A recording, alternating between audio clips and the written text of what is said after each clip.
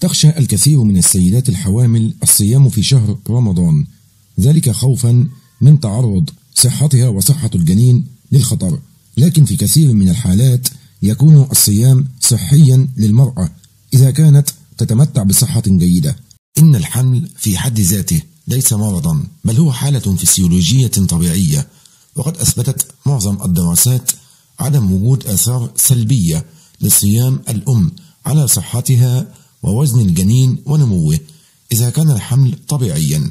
لذلك فإن كانت الحامل تتمتع بصحة جيدة ولا تعاني من بعض الأمراض مثل السكر أو أمراض الكلى أو غير ذلك فإنه يمكنها الصيام مثلها مثل أي سيدة غير حامل وبدون أن يكون هناك أي أذى على الحمل فالجنين يصله غذاؤه كاملا عن طريق دم الأم.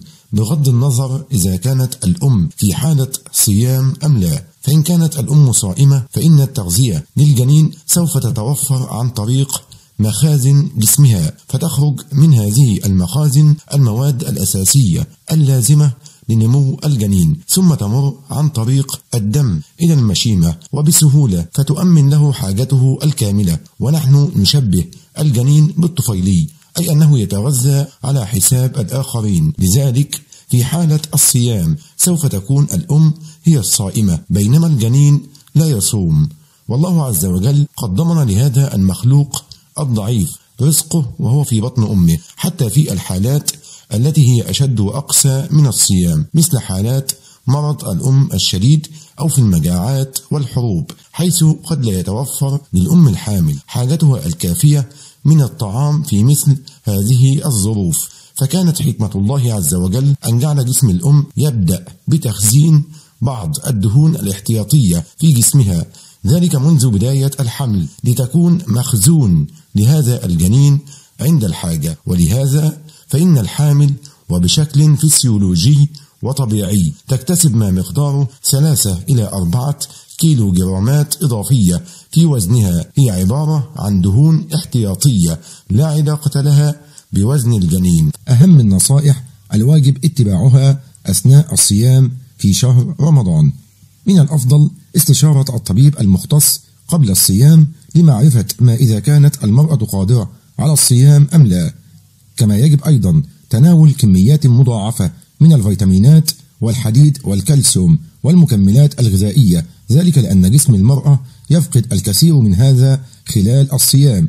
لكن يجب استشارة الطبيب قبل القيام بذلك كما يجب أيضا تناول المرأة وجبة فطور وسحور صحية بحيث تحتوي على غذاء متوازن ومتنوع كما يجب شرب كميات كافية من السوائل خصوصا المياه بين السحور والإفطار. يجب أيضا الخلود إلى النوم والراحة خلال فترة النهار ومراقبة الحمل بشكل جيد وحركة الجنين كما يجب البدء بشرب كوب من اللبن وبعض من التمر على وجبة الإفطار كما يجب الابتعاد عن شرب المنبهات مثل الشاي والقهوة ويجب أيضا تناول الخضروات والفواكه باستمرار هذا لاحتوائها على الألياف والمياه. ودائما ما يجب مراجعة الطبيب في الأوقات المحددة خلال شهر الصيام. يجب أيضا الابتعاد عن الحلويات والسكريات ذلك بقدر المستطاع حتى لا تزيد من كمية المياه المحيط بالجنين حيث تكتفي بتناولها مرة أسبوعيا.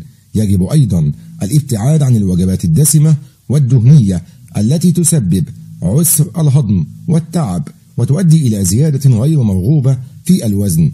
وهناك بعض الحالات التي يجب فيها عدم صيام المرأة الحامل. إذا كان الجنين لا ينمو بشكل طبيعي إذا كانت كمية السائل الأمنيوسي قليلة ويعرف بأنه السائل المحيط بالجنين الذي يقوم بحمايته. إذا كانت المرأة الحامل تعاني من مرض السكر وتتناول جرعات من الإنسولين. إذا كانت الحامل تعاني من أمراض القلب وتأخذ أدوية خاصة بتخثر الدم.